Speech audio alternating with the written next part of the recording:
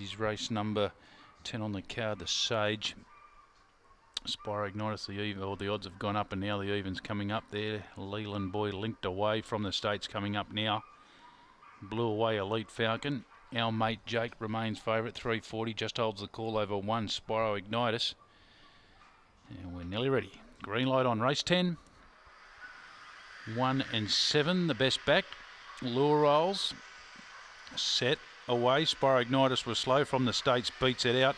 And in turn, Never Fears right there. Elite Falcon coming up there as they really bunched up, getting around the outside. Then was blew away. This uh, favourite uh, is well back. Our mate Jake trying to take ground along the inside.